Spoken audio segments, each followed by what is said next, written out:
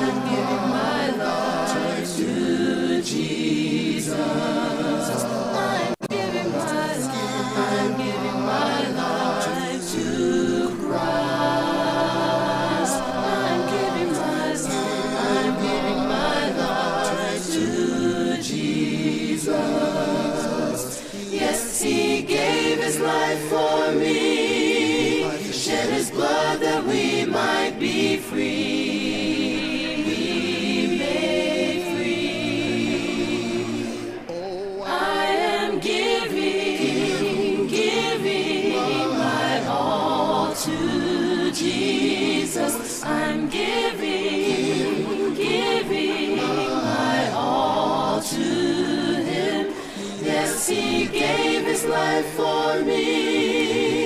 Shabbat.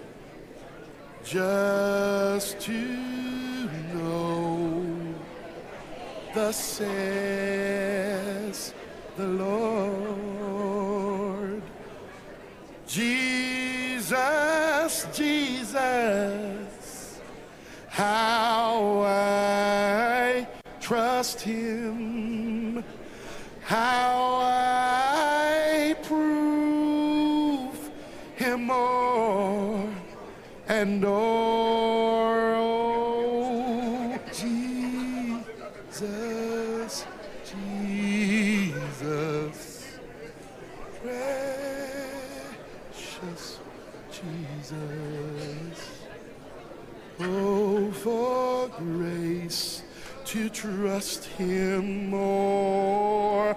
I'm so glad I learned to trust him. Precious Jesus, Savior, friend, and I know that thou art with me will be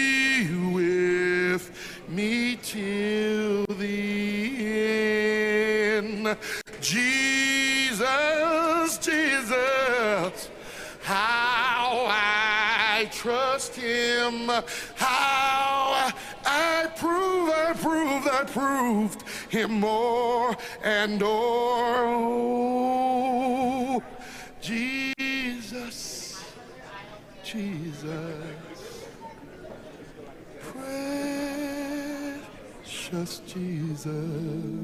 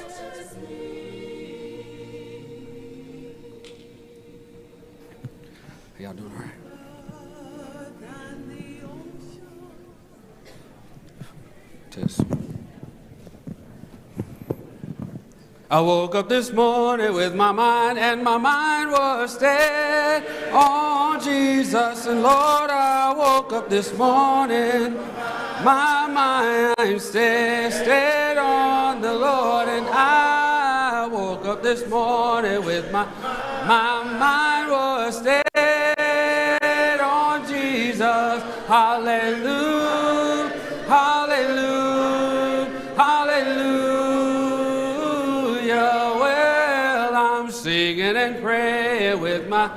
my mind is stayed on Jesus. And well, I'm singing and praying. My mind is stayed, stayed on the Lord, and I'm singing and praying with my, my mind is stayed on Jesus. Hallelujah.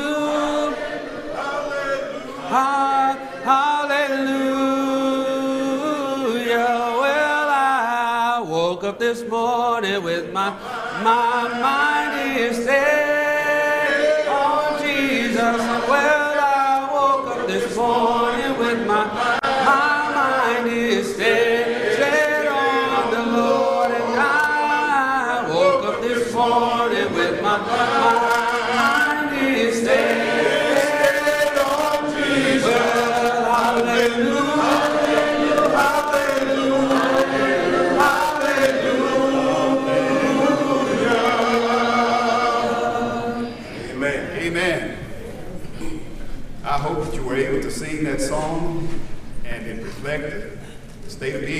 right now. We thank the Lord for Him waking, awakening us this morning and giving us the readiness of mind to want to come out and to worship Him in spirit and in truth. And so it's so good to see each and every one of you out this morning. To all of our members who are, who are watching virtually, we, uh, we are delighted that you are with us. We're so thankful that, that you are worshiping with us this morning. To all of our visitors, you are our honored guest, and we want you to know that, that uh, you are welcome at any time you are in the area to attend the Greenville Avenue Church of Christ, and we will recognize you at a later point in the worship service this morning.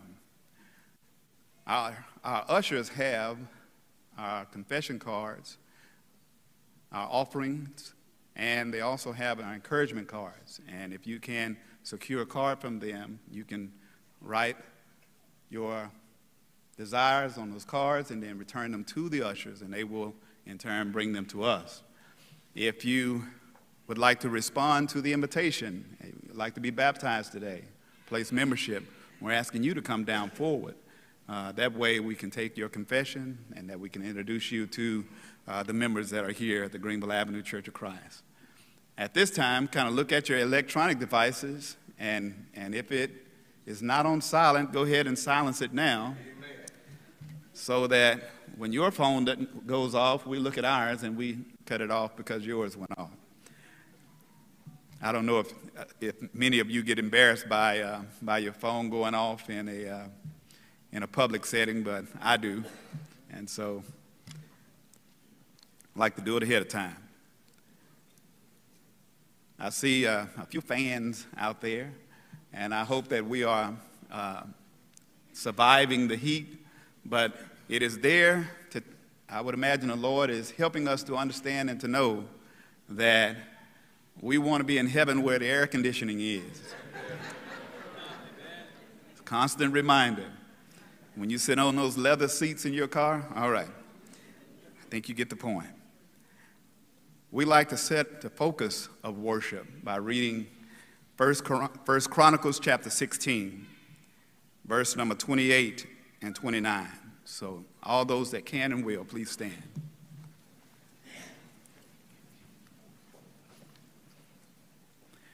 Give unto the Lord, ye kindred of the people. Give unto the Lord, glory and strength. Give unto the Lord, the glory due unto his name. Bring an offering and come before him. Worship him. So worship the Lord in the beauty of holiness. Let us go to our Heavenly Father in prayer. Dear Lord, we thank you so much for all that you do for us, dear Father. Father, if we had a thousand tongues, we could not thank you enough for your goodness, your grace, your love, and your mercy upon us. Father, we would like to first ask that you remove from us any sin that might separate us and keep us from being fully devoted to worship this day. Father, I pray that you'll bless those that are en route, that they might arrive here without any harm or danger. Father, we want to give you what you ask of us. So I pray that we, as we have our strength, that we'll give you the best of it. And every moment that we have, that we can glorify you. And this offering that we bring is our, first of all, our lives. This offering that we bring to you, dear Lord, is our devotion to you. This offering that we bring is our commitment to doing our best to keeping your word. And so, Father, as we gather collectively here this morning, we express those givings, those offerings, through the way that we sing, through our being attentive to your word and listening and applying it to our lives, to our praying to you without ceasing for the cares of this world and, and our own concerns. But then, Father, we give back to you our time and of our personal possessions. And then, lastly, dear Father, we recognize the great sacrifice of your dear Son, how that he gave his life for us to give us the opportunity to speak to you at this moment. We love you, dear Father, and we pray that we'll always show that we love you by the things that we do. It is in your Son, Jesus' name, that we pray. Amen.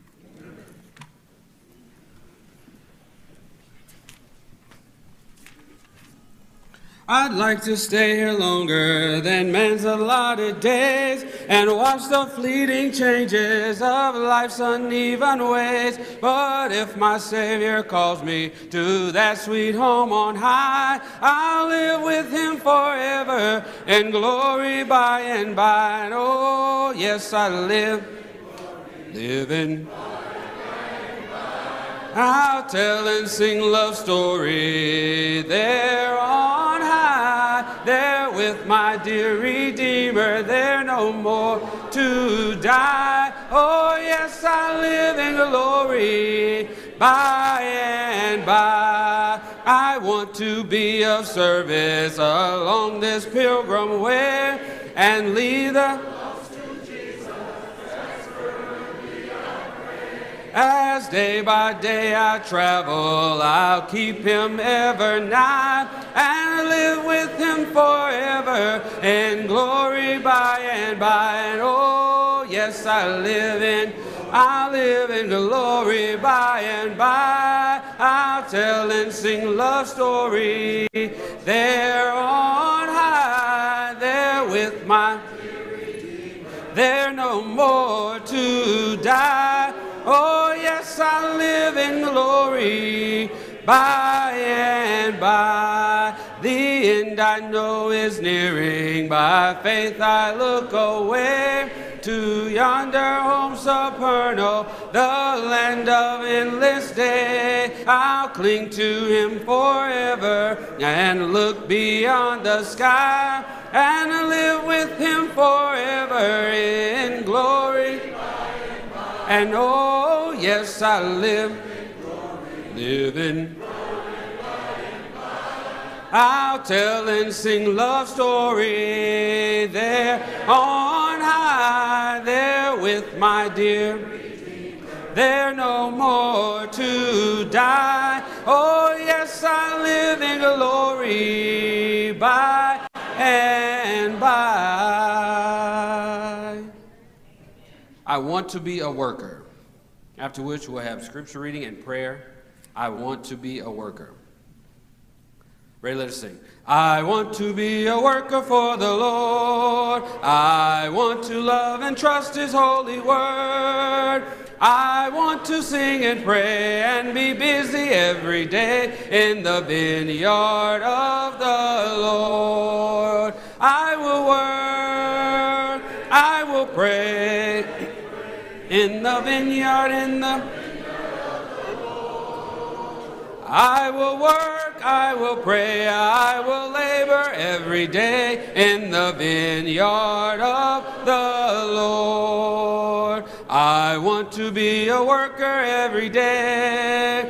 I want to lead the erring in the way that leads to heaven above, where all peace and love in the kingdom of the Lord. I will work, I will pray in the vineyard, in the vineyard of the Lord. I will work, I will pray, I will labor every day in the vineyard of the Lord. I want to be a worker strong and brave. I want to trust in Jesus Christ's name. All who will truly come shall find a happy home in the kingdom of the Lord. I will work, I will pray in the vineyard, in the vineyard of the Lord. I I will pray, I will labor every day in the vineyard of the Lord. I will work, I will pray in the vineyard, in the vineyard of the Lord. I will work, I will pray, I will labor every day in the vineyard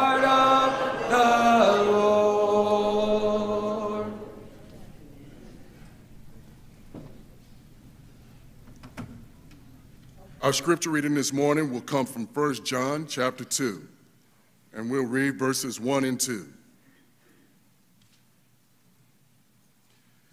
And it reads as follows My little children, these things write I unto you, that ye sin not. And if any man sin, we have an advocate with the Father, Jesus Christ the righteous.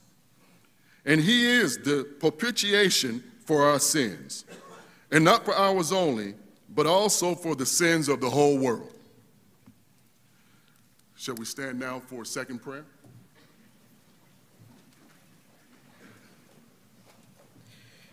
Bow your heads and close your eyes. Dear God, thank you for allowing us to be in your heavenly house of the Lord on this fine Sunday. And thank you for allowing us to, to worship your Lord and learn everything that we can, dear Lord. And thank you for allowing us to come here and live another day, dear Lord. And we want to thank you for allowing us to, to be very holy people in your house, dear Lord. In Jesus' name we pray, amen. On a hill far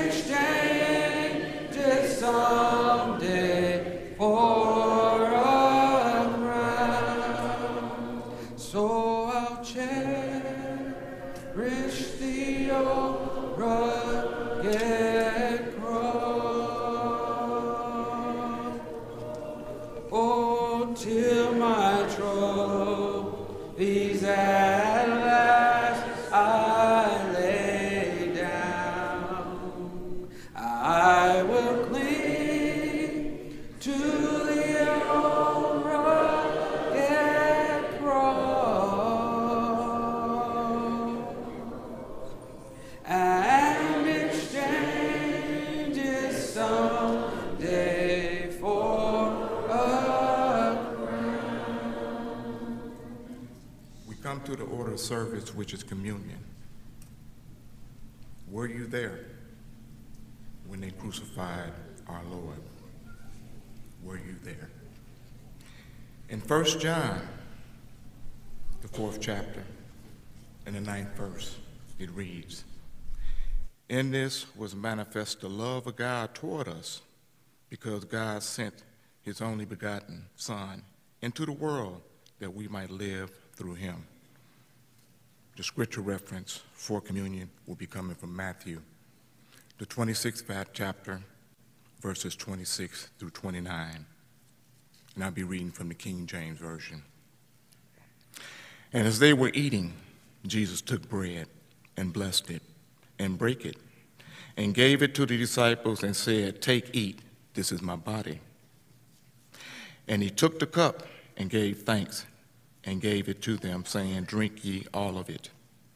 For this is my blood of the New Testament, which is shed for many for the remissions of sins.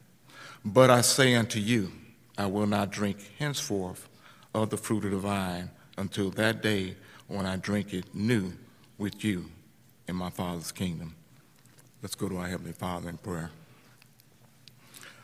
Our Father in heaven, Father, we so thankful for all that you do and for sending your Son to save us, Father, from the sins that died on the cross so we'll have everlasting life.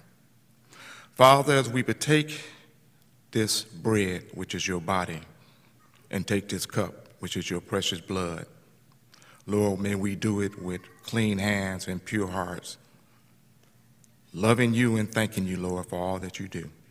In Jesus' name we pray. Amen.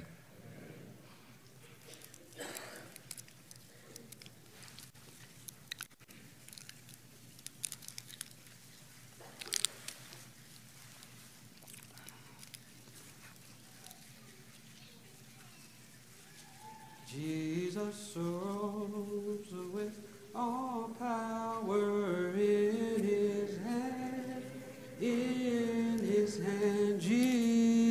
Jesus arose with all power in his hand. In his hand, they tell me that he died. My Lord, he rose on Sunday morning. Jesus arose with all power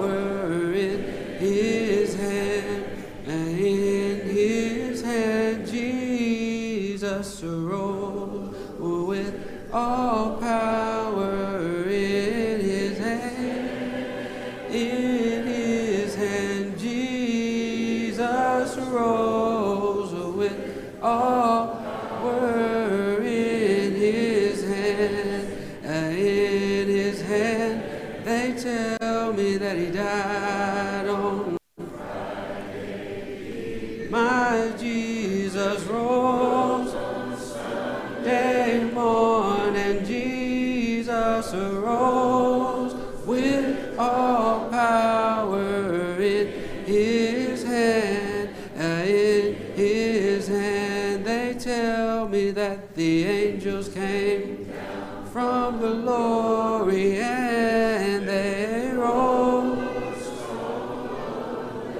They tell me that the angels came and down from the glory and they rolled the stone away. They tell me that the angels came down from the glory,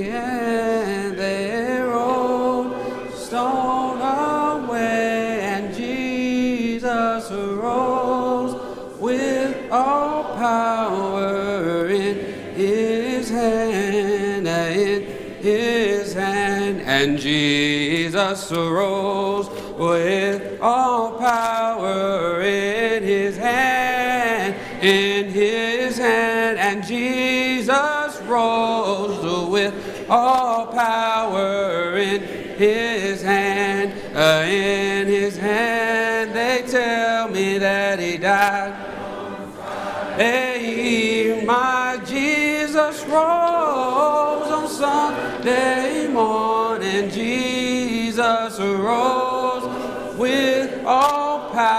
power in his hand, in his hand. Sometimes it's just good to talk with Jesus anytime you have good days or bad days. I once was lost in sin, but Jesus took me in, and then a little light heaven filled my soul. It bathed my heart in love, and wrote my name above. And just a little talk with Jesus makes me whole. Oh, now let us have and let us tell, and he will hear, and he will answer by and by. Now, when you feel as your heart under heaven is, and you will find with Jesus makes it right, all right. I may have doubts and fears, my eyes be filled with tears, but Jesus is a friend who watches day and night will I go to him in prayer. He knows my every care. And just a little talk with Jesus makes it right. All right. Now let us have a little talk with and let us tell. Oh, he will hear and he will answer by and by. Now when you feel and as your heart, and you will find Jesus makes it right. All right, now sing all right. It's all right, you know it's all right. It's all right, Lord, just a little makes it right. All right, now sing all right. It's all right, you know it's all right. It's all right, Lord, just a little talk with Jesus makes it right. All right, now let us have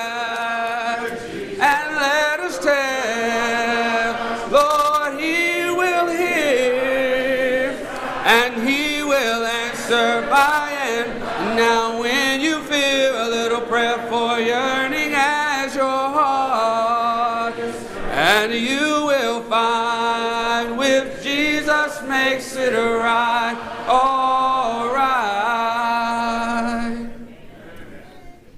Let the church say amen. Amen.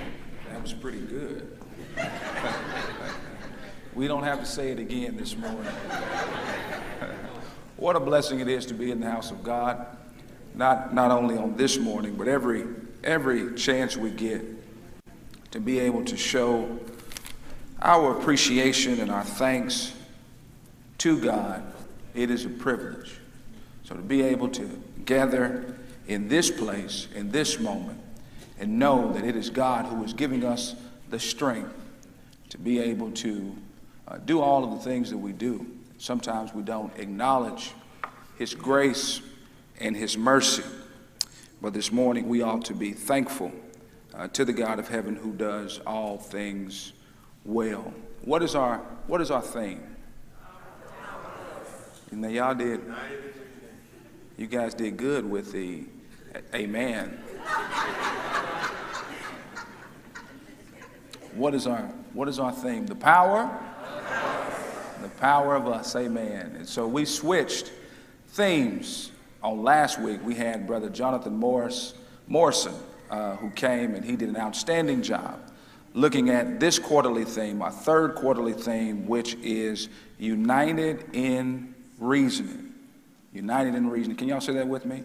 United in reasoning. What a, what a blessing it is to be um, in the presence of God's word, to be able to reason from God's word. A story is told of a man who thought he could reason with God, and he goes on the top of a, a tall hill and he yells out questions to God. And he says, he says, what's a million dollars? Or what is a million years uh, to God? And the answer came back in a thunderous voice. And God said, uh, one minute.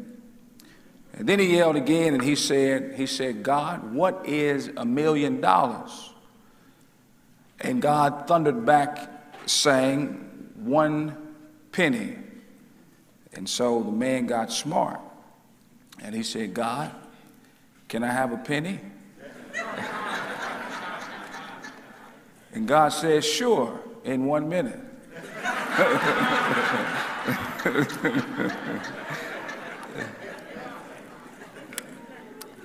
My point is, is we cannot reason. We can't out reason. We can't match wits with God. The best we can do is understand what Isaiah wrote.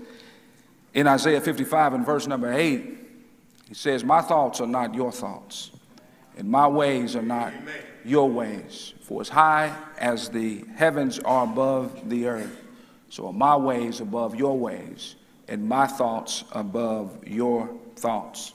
If you have your Bibles this morning, I want to look at the text that was read in your hearing, and that is 1 John chapter 2 and verse number 1 and verse number 2. How many Bibles do we have? I know we don't use them, but I'd encourage you, I'd encourage you to bring your Bibles, especially as we are looking at these series of lessons on reasoning because it's not about what we think, it's not about what we feel, it is what the Word of God says. So I'm encouraging you to study with me from the Scripture.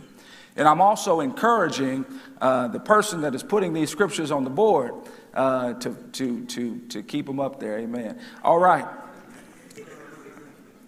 Bible says, or John writes, My dear children, I write this to you so that you will not sin. But if anybody does sin, we have an advocate with the Father, Jesus Christ, the righteous one. He is the atoning sacrifice for our sins, not only for ours, but the sins of the whole world. I'd like to take for a subject this morning God's courtroom. God's courtroom. It is a sobering event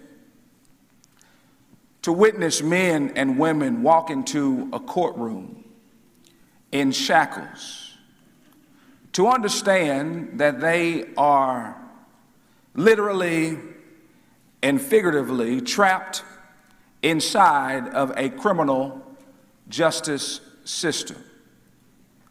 It is equally sobering when we hear the gospel preached to understand that we also are trapped inside God's system of justice. When you think about the world, the world is God's courtroom. You may never stand in front of an earthly judge. But in this moment, our actions are open, our thoughts and our intentions are opened to the God of heaven that is judging everything that we do and everything that we say. In this moment, each of us finds ourselves in God's courtroom. In a spiritual sense, we are born into this courtroom.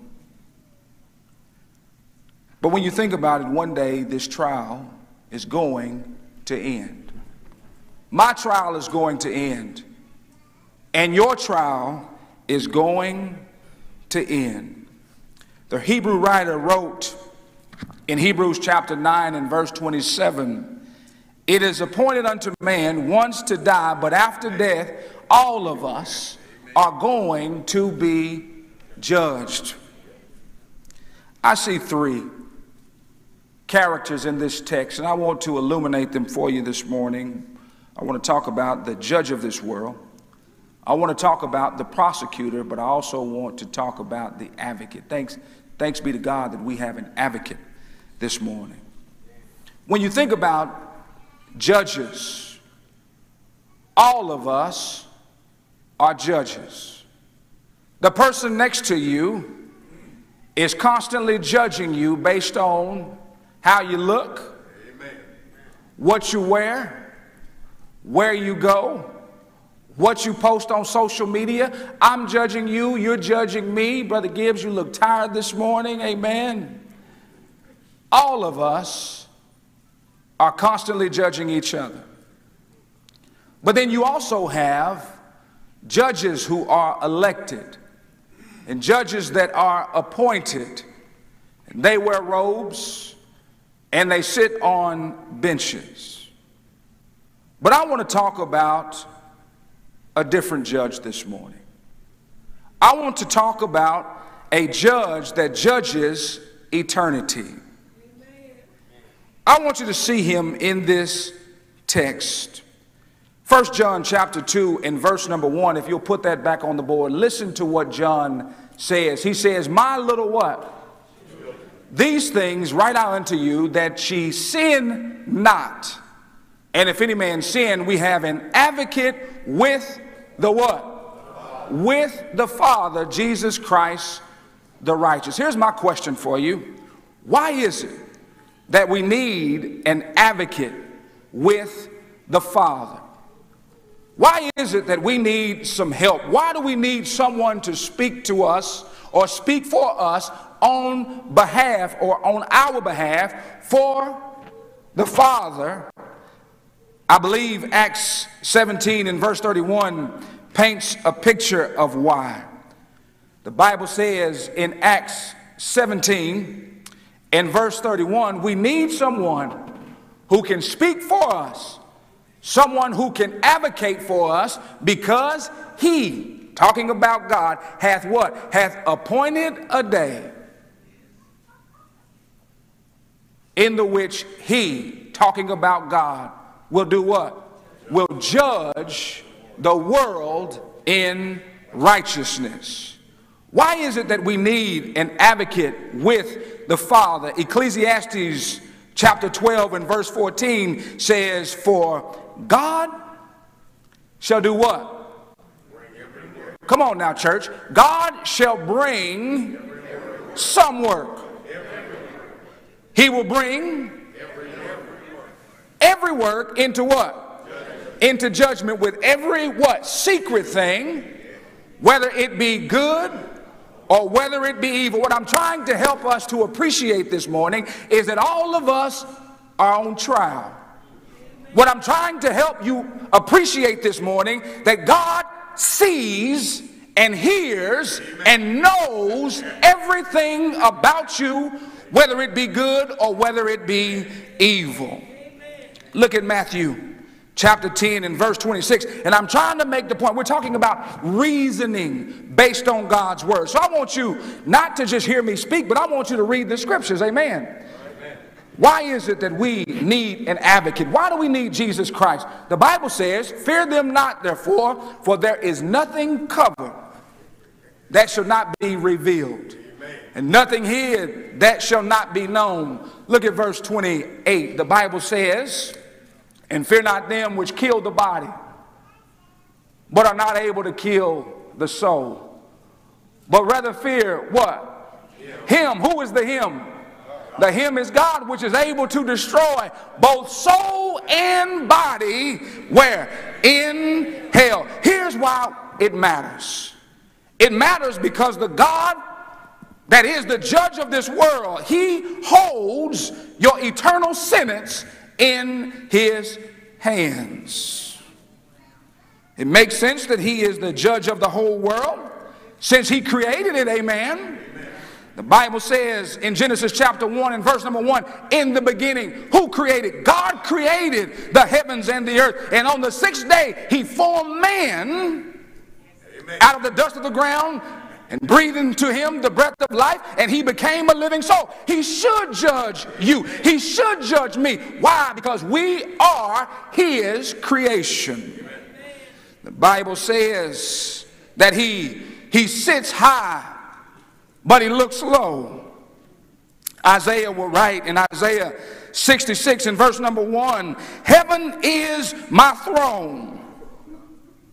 And the earth is what? The earth is my footstool. He sits on the bench in heaven. Amen. What are you saying? I'm saying the world is his courtroom. There is one lawgiver and one judge. Story is told of two bad boys. I'm talking about bad, but y'all, y'all ever seen Bad Boys?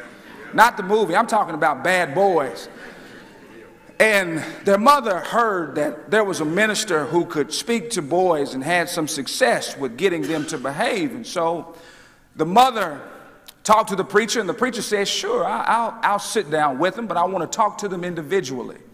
And so the preacher calls the boy in, and the boy is looking at the preacher, and the preacher, in his most serious voice, he says, Son, do you know where God is? And the boy didn't say anything. And then the preacher, with a more stern voice, he says, Son, do you know where God is? And the boy just, just, just sat there. And then the third time, in a booming voice, he said, Son, do you know where God is? And the boy jumped up and ran home and uh, hid in his closet. And his brother saw what was, what was going on. He said, he said, he said what, what, is, what is going on? What happened? He said, Man, we are in trouble now. He said, God is missing, and they think that we did it.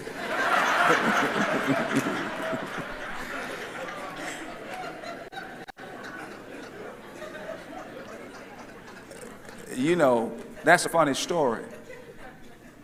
But a lot of us act like God is missing. A lot of us live our lives as though God is not on the bench. A lot of us live our lives and we act like this is not God's courtroom. I've stopped by and I want, I want to be very serious in this moment. I want to say to all of us, and I'm coming down, but I'm coming back up. I want to say to all of us that no matter what we think or how we feel, this is God's courtroom. Amen. All of us are in God's jurisdiction this morning. Every day of your life, God is on the throne of heaven. So when you look at this text, I want you, I want to ask you a question and I want to explore with you what is this trial about? We know that God is the judge of all of us. We know that this is his courtroom, but what is this trial about? I want to study uh, 1 John chapter 1. And let's look at verse number three. And I want you to study this with me because it's important for us to know what are the issues in this case. The Bible says, that which we have seen and heard and declare unto you. So, this is John who is writing about Jesus. John has witnessed Jesus firsthand. John has dealt with Jesus and seen the miracles firsthand. And so he is talking to his audience and he says, That which we have seen and heard, he's talking about Jesus. We declare the gospel of Jesus Christ to you. That, why? That ye also may have fellowship with us. Now, here's the question, church Who does he have fellowship with? It says in the next verse. And truly, our fellowship is with who? With the Father. Here's, here's what I want you to understand I want you to understand that God wants to have fellowship with you. The God of heaven Yes, Lord. I hope that doesn't happen again. Now, y'all need to stop laughing and pay attention. The God of heaven, I, and, I'm, and, I'm, and I'm serious, and I want to make this point as best as I can. The God of heaven wants to have what? Fellowship. You know, in chapter one of this, of this book, the word fellowship is used over and over again. In 11 verses, it's used four times. And what I want you to understand is that, is that what John is talking about, he is talking about fellowship and intimate connection with God. He wants to have fellowship with his creation. When you look at the whole of the Bible, the whole of the Bible is about one thing God trying to have a relationship with his creation. He didn't call, he didn't call Abraham for nothing. He wanted to help a, a, a people to understand how to have fellowship with him. He didn't send Jesus for no reason. It is all about what? It's all about fellowship. Fellowship with God. But here's the problem. Look at verse number five. The Bible says that God is, and, and, and I know the first verse, the first part doesn't say this. This then is the message which you have heard of him and declare unto you that God is what? Light.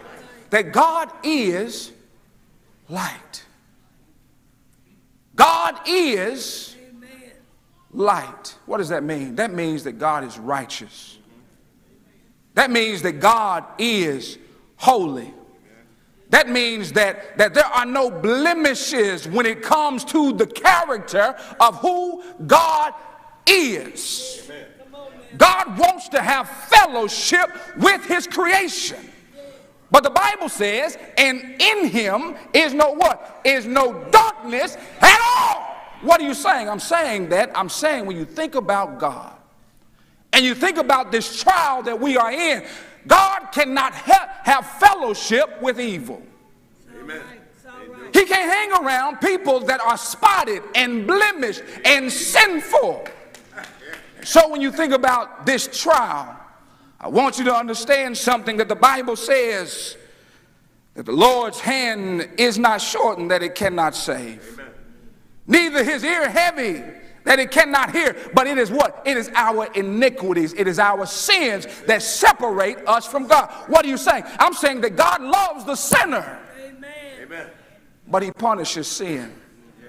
God loves the sinner, but he has to punish darkness. So, so when you think about this trial, when you think about the God of heaven, when you think about the Father, this trial is about him wanting to have fellowship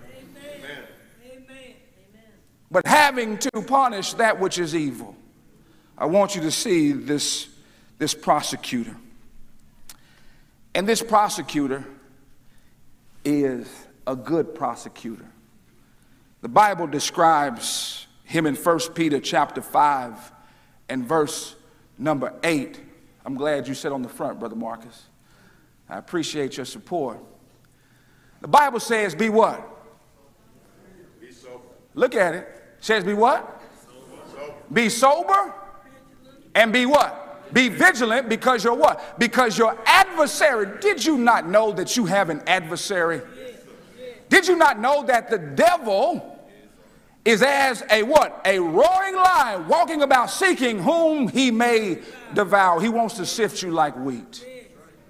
I'm telling you, he has a good case too. He has a good case. Why? Because all of us have what? We have sinned and fallen short of the glory of God. Put Revelations chapter 12 and verse number 10. I want to show you that every time you sin, every time you miss the mark, every time you have a bad thought or act inconsistent with God's word, He is constantly filing charges, submitting indictments to the judge, which is the God of heaven. Look at what the Bible says. And I heard a loud voice saying in heaven, Now is come salvation and the strength and the kingdom of God and the power of his Christ. For the accuser, who are we talking about?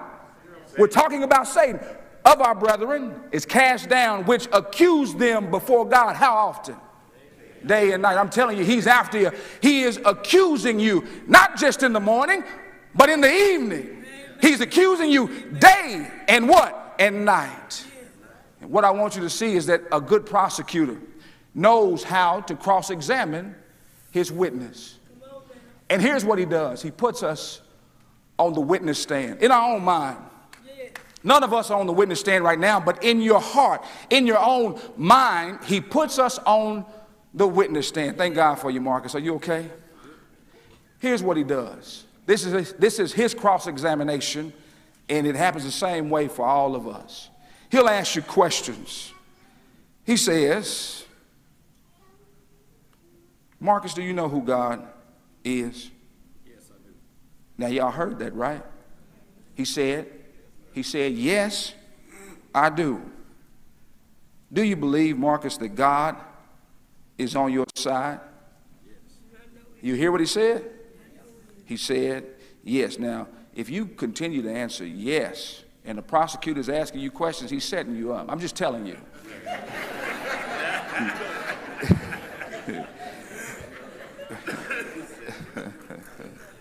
Do you believe, Marcus, that you have fellowship with God?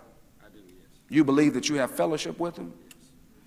Do you believe that this book, the Bible, is true and that every word in it is right and correct? Yes. What do you think about 1 John chapter 1 and verse number 6? Because you said you had fellowship with him. You said that he's on your side, didn't you? What do you think about that?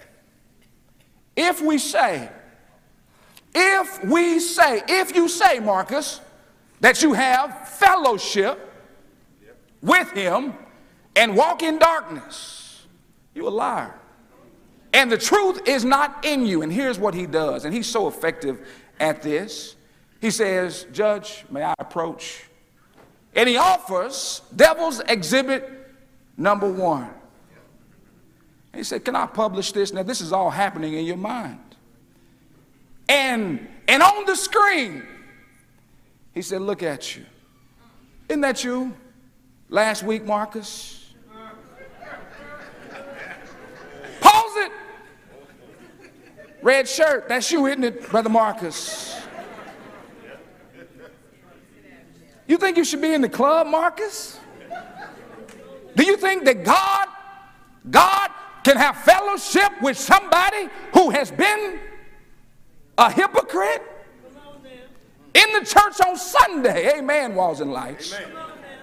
But in the club, Marcus. Then he says, Your Honor, may I approach again? I've got Devil's Exhibit number two.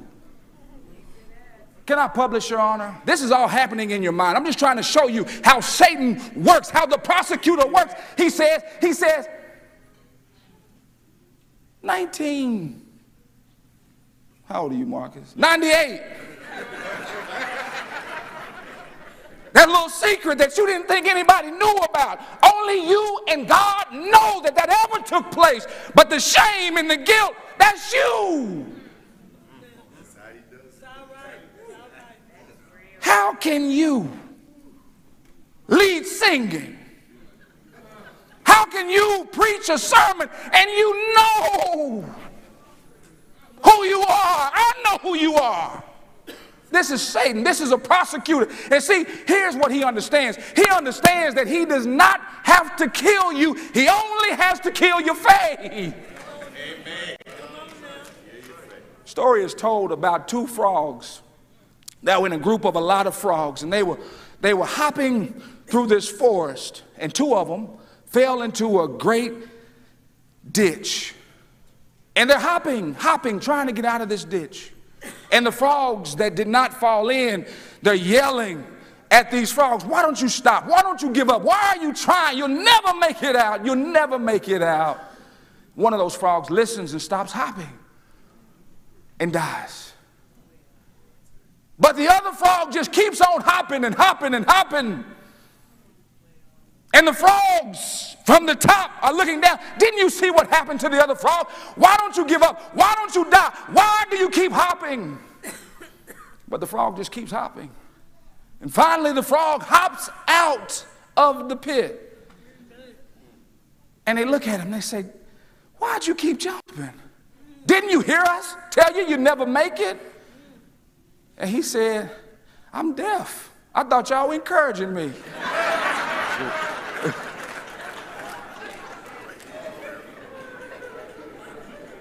But here's the point. Here's the point. Satan wants to ask you the question why are you still hopping? Why are you still praying? Why are you still coming to church? Amen.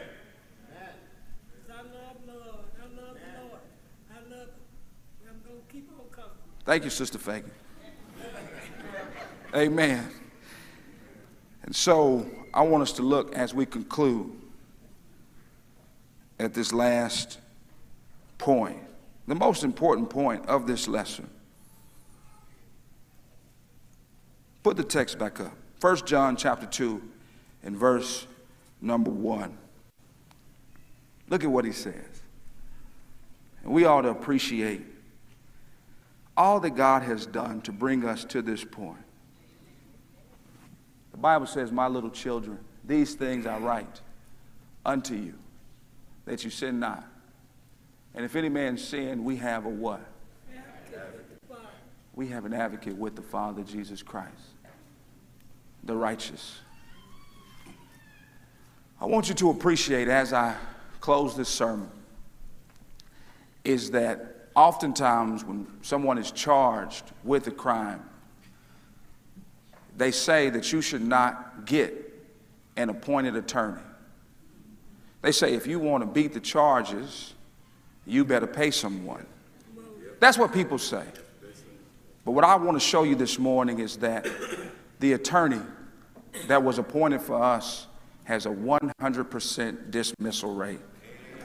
And I pray, I pray that you're listening to me because this is this is this is our life. This is our soul. I think about Jesus in John chapter 8. There was a woman who was caught in the very act of adultery. And you know what the prosecutors did? The, the, the Pharisees and the Sadducees, they, they grab this woman and they take her to the temple and throw her in front of Jesus.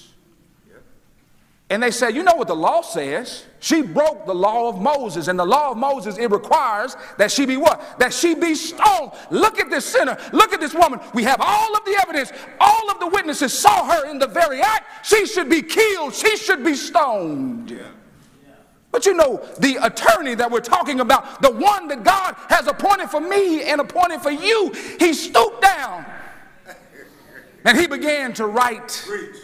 He began to write in the ground. I don't know what he wrote, but all of those who were present, the prosecutors, saw what he was writing in the ground. And when he finished writing, he stood up and he gave one of the, one of the shortest, most profound closing arguments known to man. He said, Ye without sin, Preach it. you throw the first stone.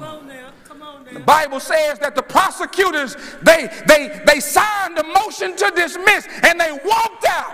What am I saying? I'm saying that, that the attorney that has been appointed for you and that has been appointed for me is some kind of attorney. Here's what you got to understand that the judge will allow you to represent yourself. And there are a whole lot of us, and I'm talking to us, I'm talking about, about the generation that is under me. There are a lot of us who are not here because we are trying to represent ourselves.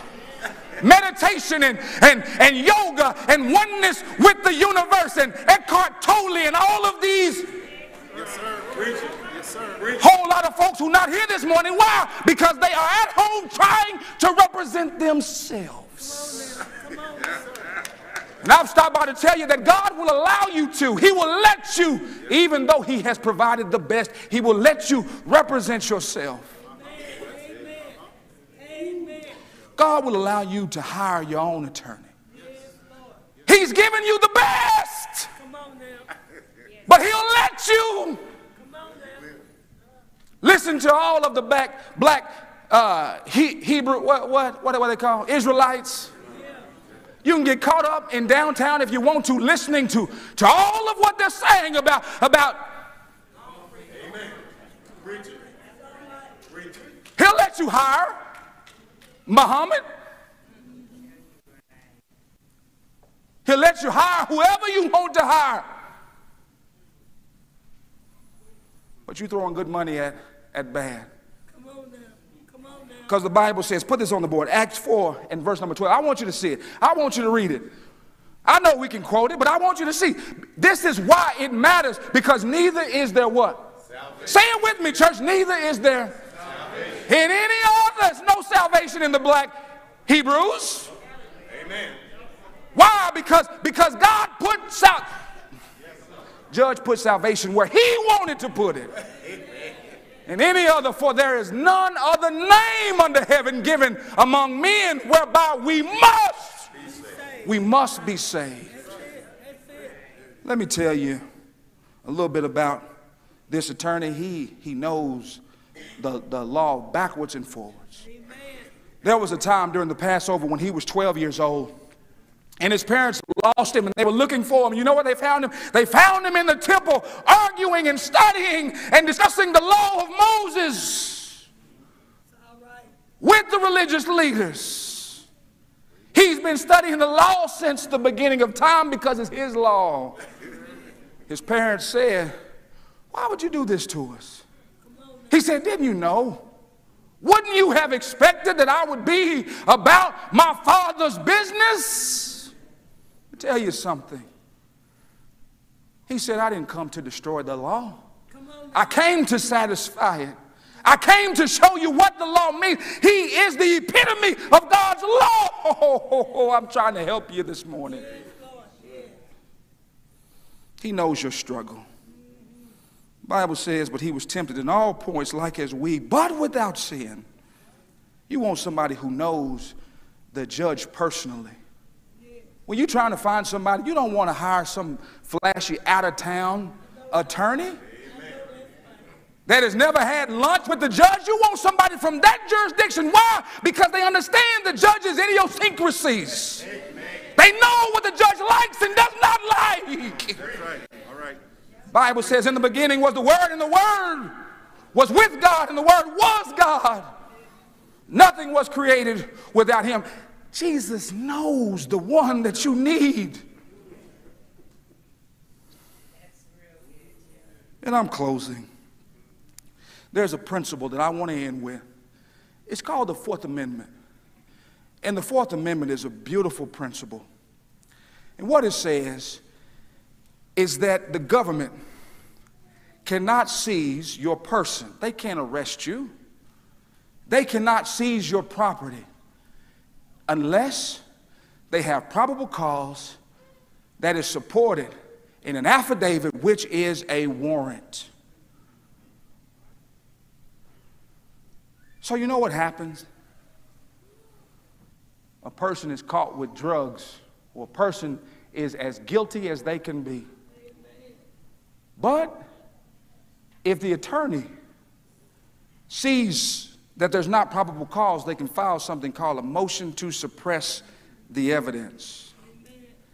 And even though a person is as guilty as sin, that evidence can be thrown out. So when they come to trial, all of the evidence that supported your guilt is not there.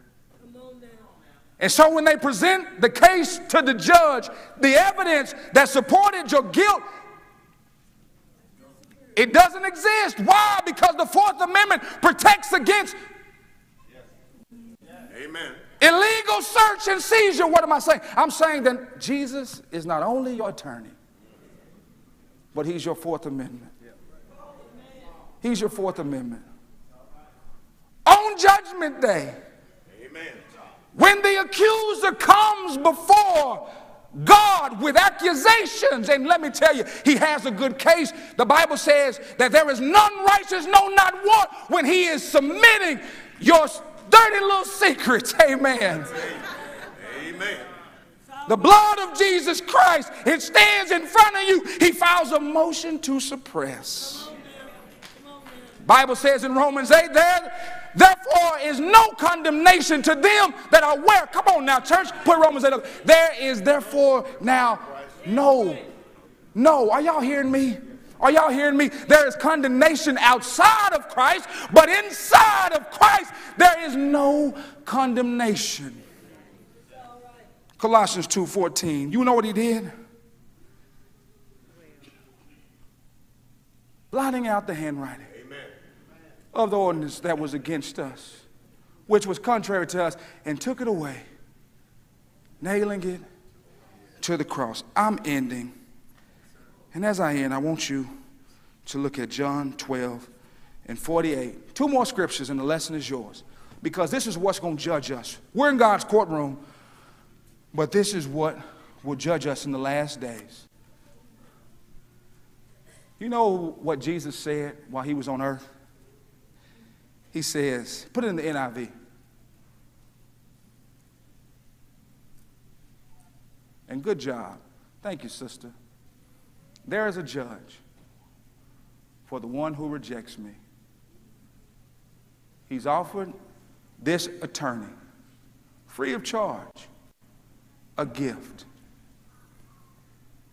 But the God of heaven, who will judge us, says, if you reject Jesus, if you accept not his words, the words that I have spoken will condemn them in the last day. Now, put Second Thessalonians 1 in verse number 7. I want this to settle in. I'm not trying to, uh, to do anything but convict you with the word of God because this is about reasoning, not based on what I think or what I feel, but based on the word of God. And give relief. Actually, put that in the King James Version. and to you who are troubled with us, when the Lord Jesus shall be revealed from heaven with his mighty angels. Jesus is coming back, y'all. Verse number eight. In flaming fire, taking vengeance on them that what? Now he wants to have fellowship with us, right? He sent his son that he might have fellowship with us, that we might know God. But there are those who will not know God when he comes back. And it's because they would not hire Jesus Christ. In flaming fire, taking vengeance on them that know not God and that obey not the gospel of our Lord Jesus Christ. What is the gospel of Jesus Christ? Jesus said, as he was going back to heaven, Mark 16 and 15, put that on the board. He said, Go into all the world and preach the gospel. Preach that I am the Christ. Preach that I came and I died and I rose on the third day and established my church. Preach that. Amen. And he said, every to every creature, doesn't matter what color, doesn't matter what background, preach it to everybody. Verse 16. He that what? This is how you hire Jesus Christ. He that believe, come on now, that Jesus is the Christ, the Son of the living God. If you believe this morning, if you believe that Jesus is the Christ, he asks that you step out on faith. He asks that you repent of your sins and that you confess him, not just in words. You, you've got to say that I believe that Jesus is the Christ, the Son of the living God, but he wants you to live it out every day. Why? Because he wants fellowship with you. Amen. And then you got to be baptized. He that believeth and is baptized, a man has to be born again, born of the water and of the Spirit. And if you do that, if you do that, when judgment comes, you're going to be all right. Come to Jesus. You've heard the word. Believe it with all your heart. Repent of your sins. Confess that Jesus is the Christ, the Son of the living God. Be willing to go down with him in the watery grave of baptism that puts you into Christ, that puts you into his church. And in the last day, you will be justified. Not because you're so good, but because God is good. Come to Jesus. As together we stand and sing. Will you come? What can wash away my sins? Nothing but of Jesus. What can make me whole again? Nothing but the blood of Jesus. Singing, oh, precious Come to Jesus. Come to the Jesus. God bless you. that bless you. makes me God white as snow. No Come to Jesus. other He loves you. fount I know He loves nothing but the blood of Jesus. gonna wait on you. We're gonna wait on you. For my pardon, this I see, nothing but the blood of Jesus. Come to Jesus. For my cleansing, this my plea, nothing but the blood of Jesus. Singing, oh, precious is the flow that makes me white as snow. No other fount Come to Jesus. I know, nothing but the blood of Jesus. Nothing can for sin atone, nothing but the blood of Jesus. Not of good that I have done, nothing the blood of Jesus. Singing, oh, precious is the flow that makes me white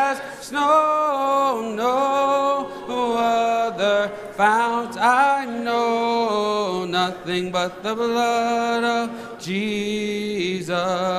Oh, what can wash away my sins? Nothing but the blood of Jesus. What can make me whole again? Nothing but the blood of Jesus. Singing, oh, precious is the flow that makes me white as snow. No other fount I know, nothing but the blood of Jesus. Singing, oh, precious is the flow that snow, no other fount I know, nothing but the blood of Jesus. I keep falling in love with him over, over and over and over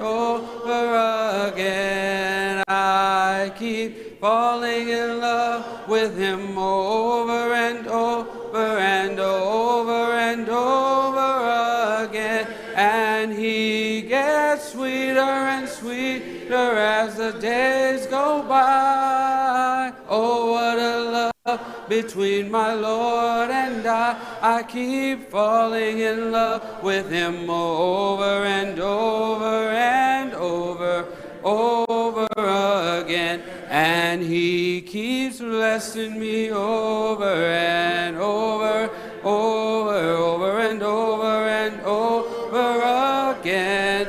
And he keeps blessing me over and over and over and over, over again. And he gets sweeter and sweeter as the things go by. Oh, what a love between my Lord and I. I keep falling in love with him over and over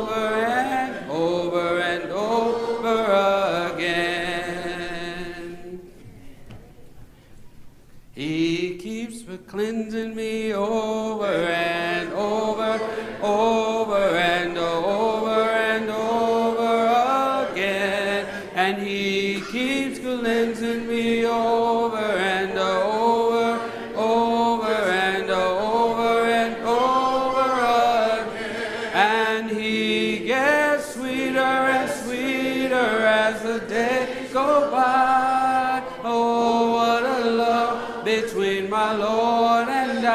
I. Keep falling in love with him over and over and over and over again.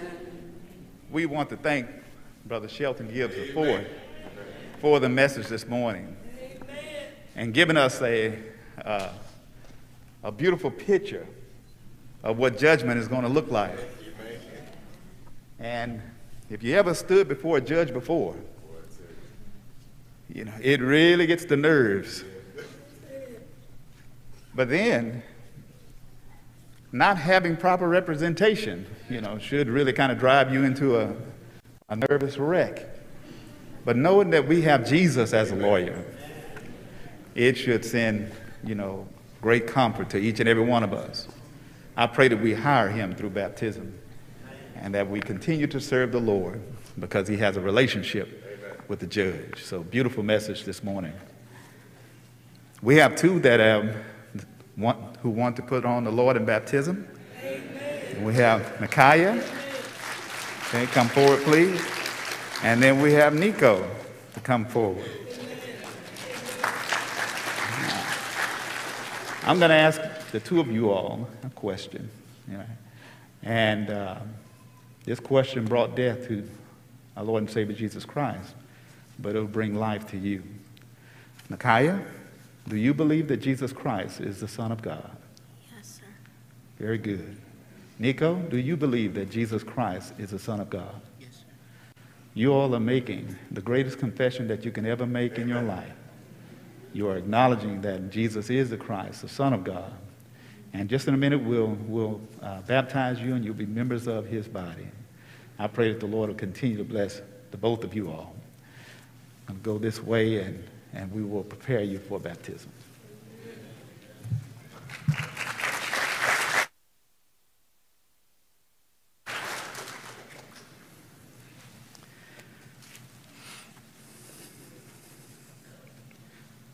You know, as Brother Gibbs was presenting, and poor Marcus was a good sport, right?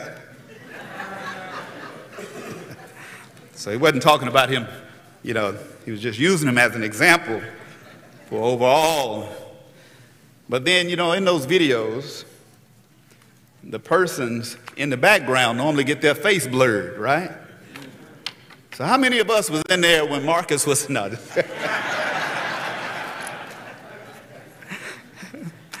Satan is going to use that same video to, to convict a lot of us. well, a lot of y'all. Beautiful job. We have those who have responded to the invitation this morning. And as I call your name, to be praised. The Lord our God is worthy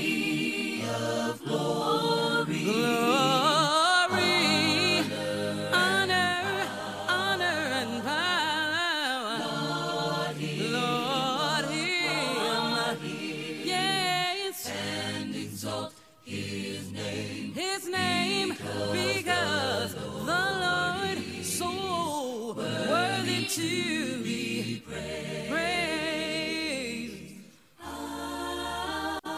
When I think of the goodness of the Lord, the Lord, how He's patient and faithful to His word. Yes, He is. Yes, He is. My soul breaks forth blessed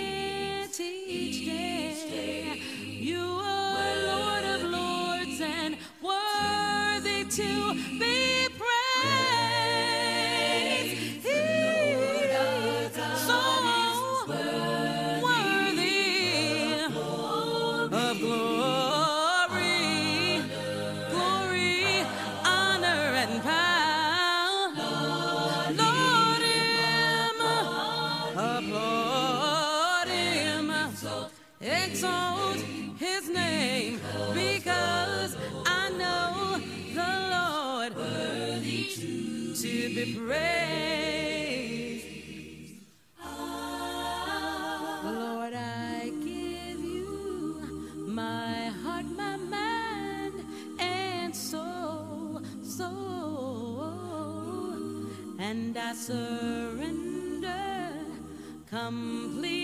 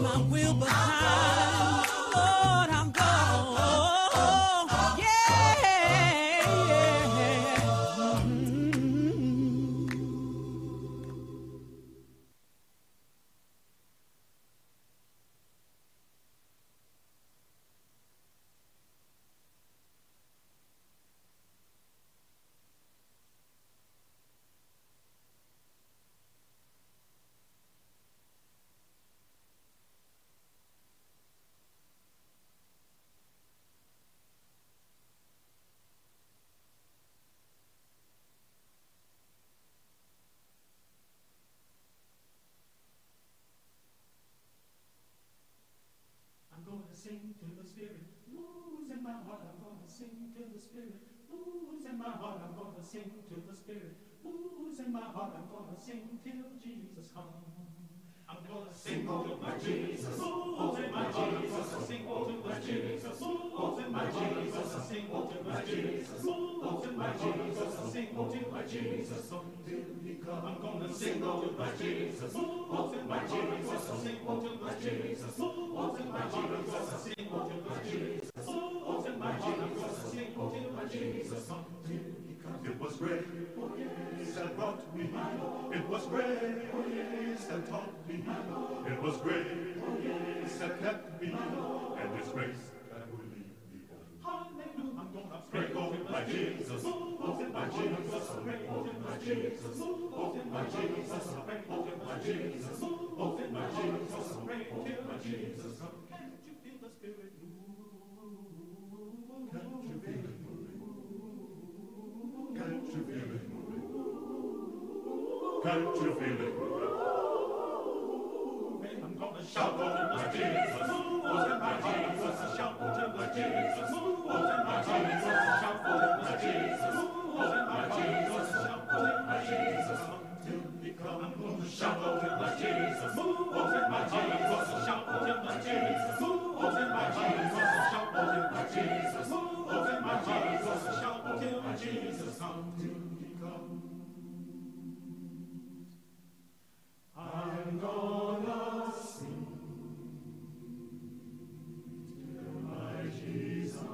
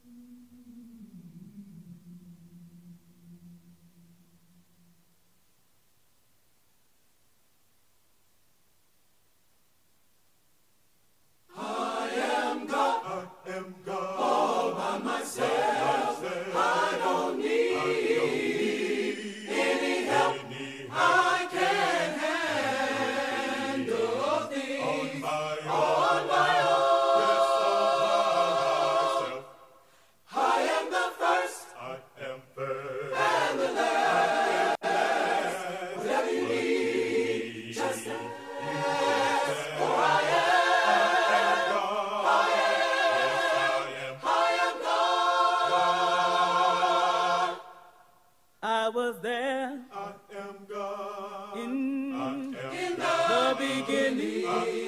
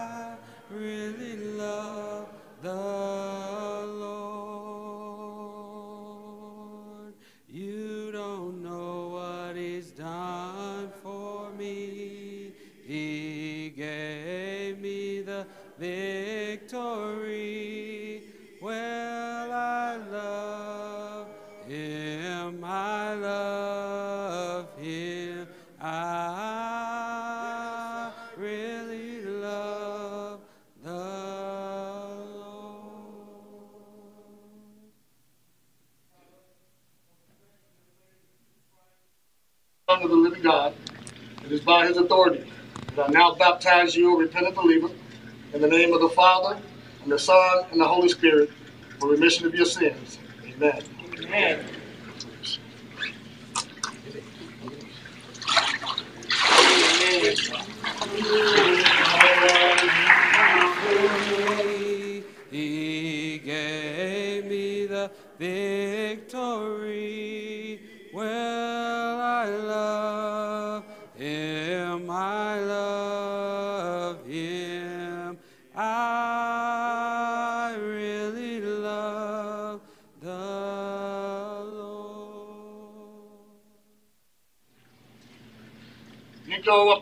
Of your faith that Jesus Christ is the Son of the living God.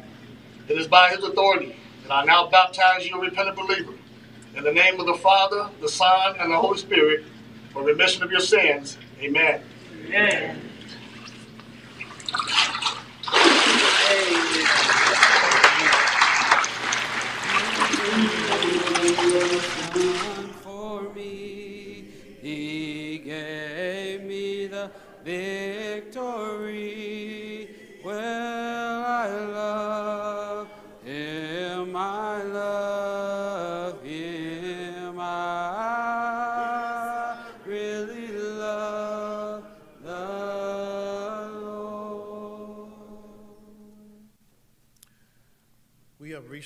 Our service which is collections. The scripture reading will be taken from 1 Corinthians 16 chapter, verses 1 and 2. And it reads, Now concerning the collection for the saints, as I have directed the churches of Galatia, so ye also are you to do. On the first day of the week, let each one of you put something aside and store it up so there be no gathering when I come. Let us pray. Dear kind and gracious Father, we come with thanksgiving in our heart. We're so thankful for your grace and your mercy. Father, we ask at this time that you accept this offering. We ask that it be used for your kingdom and your glory. And we ask that it may be a great blessing for many. Amen. In Jesus' name I pray. Amen. To our viewing audience, if you go to uh, gacoc.org, you will look at, uh, click on the link labeled Give, and you will find one of our four ways to give. For those of you in our audience today, you may drop off your offering as you leave the building. Thank you.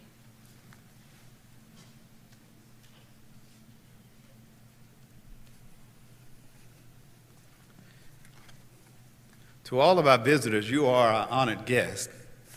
And when I call your name, I'd like to ask you to stand so that we might see where you are and we might be able to greet you when services are over. We have uh, Jean, Ari- Ariana, Adriana. Okay. All right. Welcome. Welcome. Miles Macklin. All right. Tiana Humphrey. All right, welcome, welcome. And then Veronica Coleman. All right. We'd like to welcome you all once again to the Greenville Avenue Church of Christ. And I'm so glad you chose Greenville Avenue as your place of worship. I pray that if you're traveling, that the Lord might keep you all safe. And if you're looking for a church home, then look no further than the Greenville Avenue Church of Christ. Um, this is who we are. We're a big family here, uh, but we love one another, and I'm sure we'll find there's plenty of room for you and, and for the work that you will bring to this area. So, welcome, welcome, welcome to the Greenville Avenue Church of Christ. I was passed a note here Grady, Grady Marshall Jr. Grady Marshall Jr. If you can, just raise your hand, maybe. All right. And uh, from what I understand, he's celebrating 91. Today he'll be 91. 91 years. Happy birthday to you. May the Lord continue to bless you. And then they state, uh, asking for prayers for all, all things concerning Grady Marshall Jr. and his caretakers. So, once again, congratulations. Just a few announcements. Some of our members uh, who have uh, were beneficiaries of our love and care pause for a moment to thank us. Thank you for the calls, cards, texts, and food that you provided for me and, my, and Michael during my recovery. I am very grateful for the love and support my Greenville Avenue family and brothers and sisters in Christ. I love you all. I am so excited to be in the house of the Lord with you. And that's Sister Lee Spencer.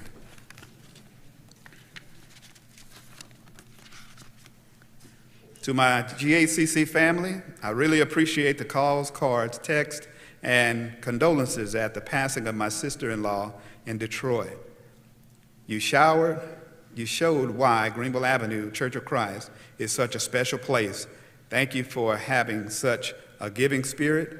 You are truly a blessing. And that's from Randy and Lavelle Clark.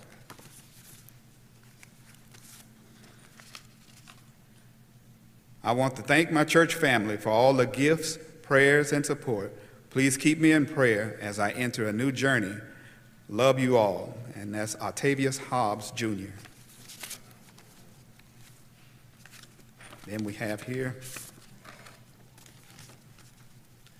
Thank you all. So grateful there are amazing people in this world, people like all of you, from Annie and Tommy Sharp, and Aaron and Ant- Antonio Johnson. All right.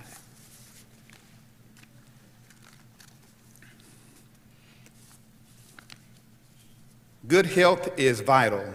How's your spiritual fitness? Join your service group on Friday, July the 29th at 7 p.m. 7 p.m. on Zoom. Build up with prayer and edification. Look for more information from your service group leader about how to join the fun and the fellowship. And I hope each and every one of you all have been able to tune in to our summer series. It's gotten off to a good start. The power of us united in reasoning, frame and family life. And on last week, Brother uh, Shelton Gibbs the IV did an excellent job. On this coming Wednesday, it will be Brother Sidney Fears, creating conditions for growth in changing environments. Let us not forget to attend Bible class. We have uh, a hybrid version of Bible class, but we want you to come out and to worship with us. And, um, and that, uh, Bible classes are really, uh, we put a lot of time and effort. Brother Bradshaw has put a lot of time and effort into making Bible class such a spiritual uh, tool for our spiritual growth. Let us not forget the, the Dallas area preachers and church leaders citywide revival. It's entitled Reengage. Takes place, it starts today through the 20th. And it'll be at 5 o'clock today at the Mountain View Church of Christ. And then Monday through Wednesday from 6.30 p.m., starting at 6.30 p.m. So please uh, attend the citywide revival. In the bulletin, you'll also see the Missouri City Church of Christ uh, All In, and they're having an, an All In uh, workshop, and there's information in the bulletin.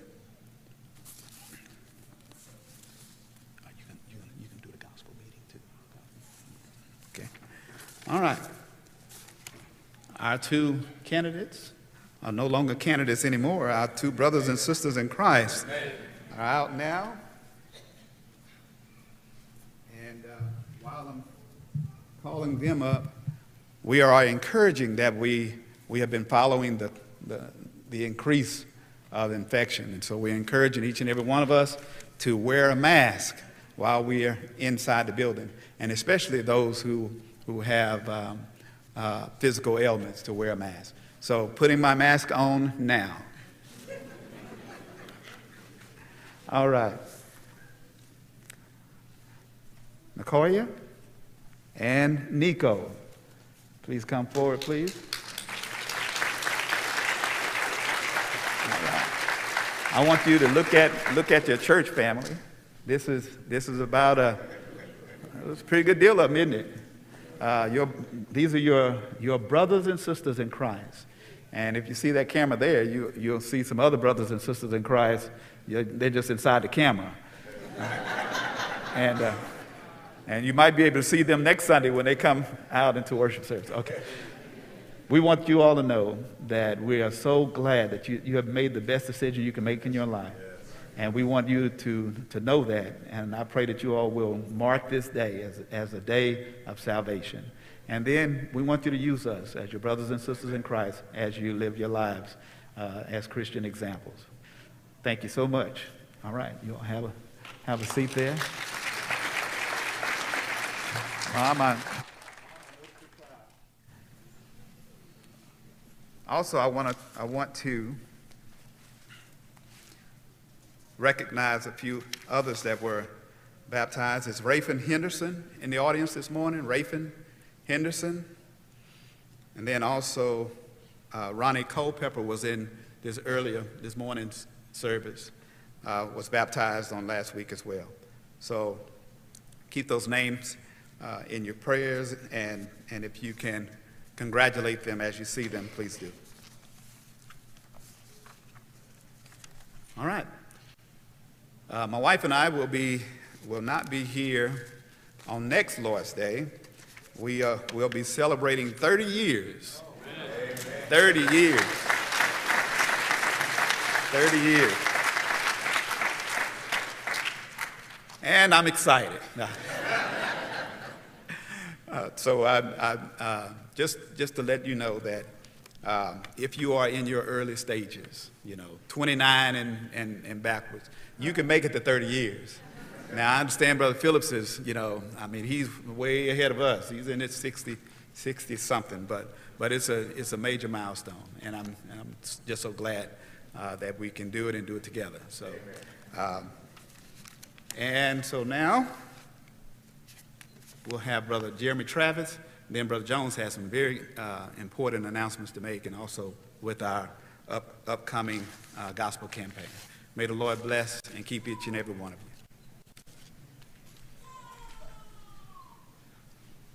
Thank you, Brother Otterberg. I pray that I make 30 years myself. All right. So, um, first of all, I want to thank the church for praying for us uh, from, from going to the conference. We just got back on last Friday um, from the youth conference at Michigan State University, and so we had a really good time. We just thank you for your support. But I would like to mention, I want to announce that first, we have some exciting news. We have Brother James Bradshaw. He was crowned king of the 2022 National Youth Conference. He won that competition. Congratulate him. Very proud of you, James. And then also we have Morgan Travis. She won first runner-up for Miss Youth Conference this year. Um, so congratulations to you, but I do want to mention that they received a scholarship for um, their tuition was paid for at Oklahoma Christian University, which is worth $96,000 over a four-year span. Wow, right? Man, was that me or what? Whoa, all right, okay, okay, okay, okay. so that was great. Um, so congratulations to them for all their hard work congratulate them and their parents, okay? Make sure you congratulate them and their parents for their hard work. Thank you very much. Next year we'll be at Jackson State University, so for the youth conference. May God bless you, Brother Jones.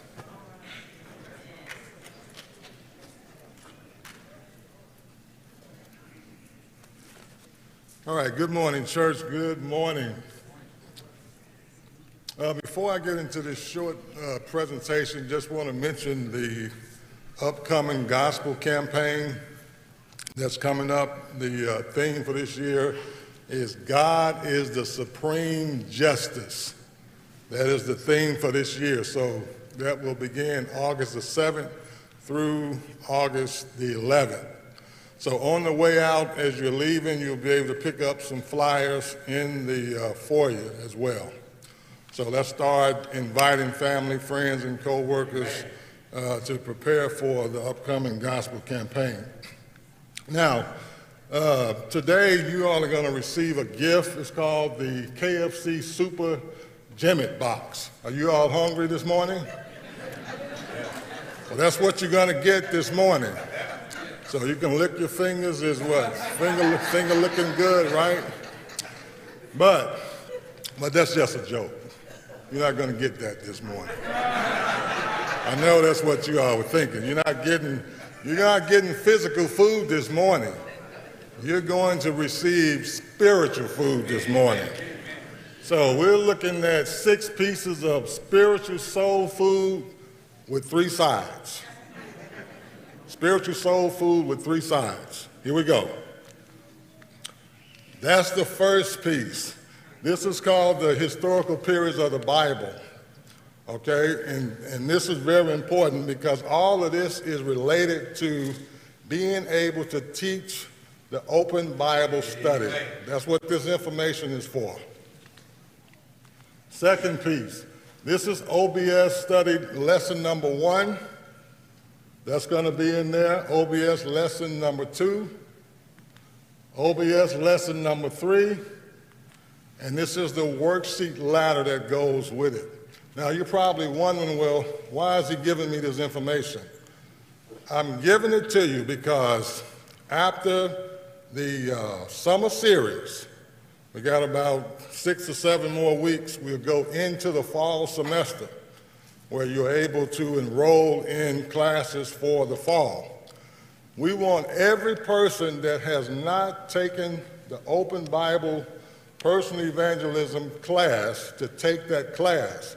So on today, when you receive this material, when you receive it, you'll already have it, you'll be able to look at it, go over, get familiar with it. Now, here's the plan of salvation. This will also be in there. And just looking at the plan of salvation, if you understand the plan of salvation, you can save a lost soul with just that chart right there. You see, you can save just that chart, understanding the plan of salvation. That will be in there. Uh, church history timeline going all the way back to 33 AD on the day of Pentecost, right? All the way up until the four major cults. So within this chart right here, it outlines uh, various denominations, who the founders were, right? So when you're talking to someone about uh, church timelines, you're able to give them the name and founder of the person who actually founded that church. Now we know that in the Church of Christ, Jesus is the foundation of the what? The church. Basic Bible references. This right here is like a loaded baked potato. loaded. Just this chart alone is loaded. It already outlines the plan of salvation, church history, and many other things that are within that, that chart there. Are you ready? This is the Ready Reference for Growing uh, Christians by Paul Sain. It has facts and scriptures on 100 biblical subjects. This is loaded with information. It's in that packet. Everybody needs to get one of those. So here's your six piece of soul food supper. this box contains traditional feasts. When I say a feast, we're talking about spiritual food. I hope you all didn't get too hungry talking about KFC. But anyway. So, six pieces of spiritual food with three sides. So, in other words, there are nine items in this box. And so, we need everybody that's inside the auditorium. Please do not leave this room. Adult, male, uh, I mean, adult, husband and wives, and adults, not children. We want you to go into the atrium area and grab that box. I think some of you all already have them. But we want everybody to go to your left, your right, and grab a box there in the atrium area for everybody. So here it is. Salvation has been what? It's been what? So what do we need? We need each one. That means you and I. Reach one, teach one, baptize one. We need everybody to get in that mindset that this is why we're here. We're Christians. This is the great commission God has given us to go into the world and do what? Preach the gospel. No one is exempt from that. We need everybody. So in the fall, we're looking to see uh, various members in that class, 200 or more. That would be a wonderful setting if everybody uh, would take that class. The good thing about it, you will already have the materials. So get your box. get that box.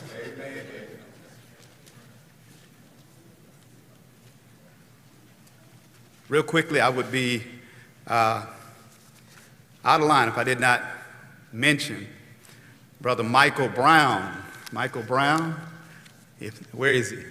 All right. You're going to have to come all the way up here, Brother Brown.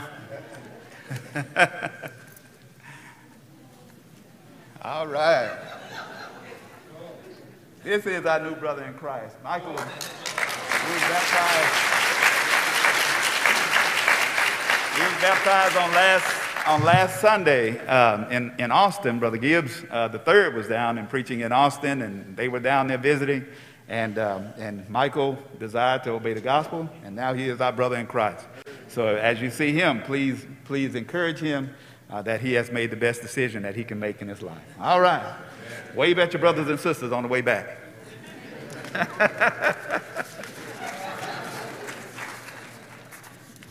and then I want to thank you all for, for being patient with us.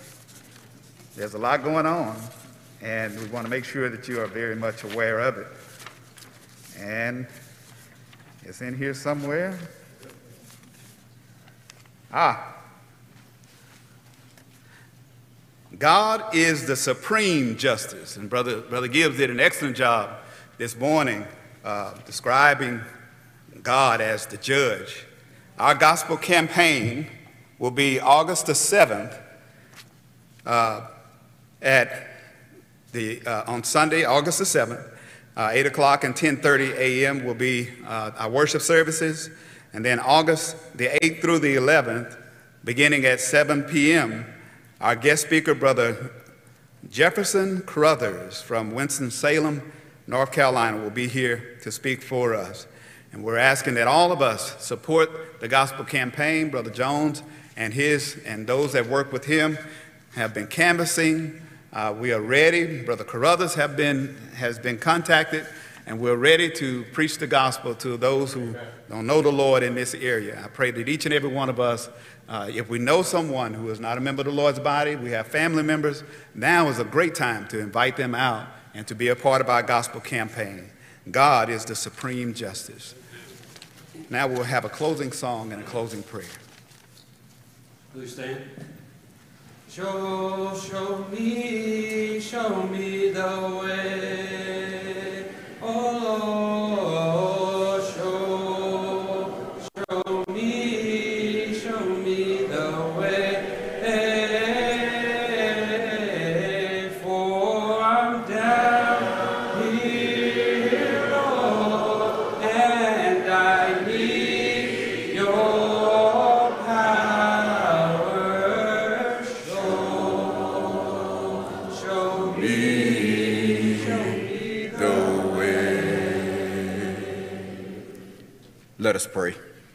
Most wise and holy Father, it is once again that we thank you so much for what we have heard, Father, and we just pray, dear God, that you would continue to be with Brother Gibbs as he continues to preach your word, Father, that you would bless us, dear God, that we would go forth and spread the gospel of Jesus Christ. Father, we thank you that you have allowed us to see this day, and we ask that you will be with us throughout the remainder of this day and all the days of our lives. It is in the name of Christ Jesus that we ask and pray.